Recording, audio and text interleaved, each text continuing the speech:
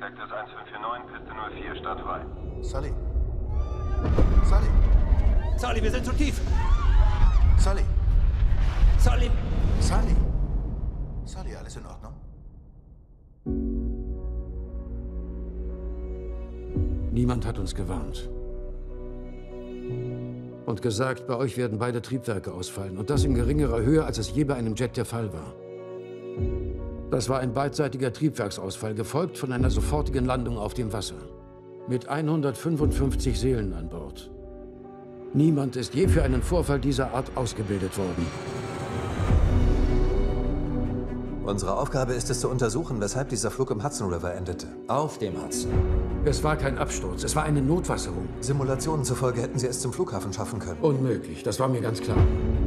Ich übernehme. Dein Flugzeug. Du sollst nur wissen, dass ich mein Bestes getan habe. Selbstverständlich. Du hast alle gerettet. Die Menschen bezeichnen sie als Helden. Ich fühle mich nicht wie ein Held. Zeigen Sie uns Ihr Cape, Super Sully. In der Presse wird schon zu viel spekuliert. Diese Aufmerksamkeit überwältigt mich. Das linke Triebwerk hat noch funktioniert. Und wenn ich mich geirrt und dadurch das Leben all dieser Passagiere in Gefahr gebracht habe? Ich habe eine A320, die gleich auf den Fluss prallt. Du hast getan, was du konntest. Das war mehr als genug. Hatten Sie getrunken, Captain Sullenberger? Familiäre Probleme?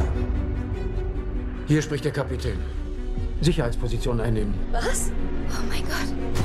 Vorbeugen, vorbeugen, vorbeugen. Köpfe runter und bleiben. Es waren 155 Menschen in diesem Flugzeug. Vorbeugen, vorbeugen, vorbeugen. Und du warst einer davon. Köpfe runter und bleiben.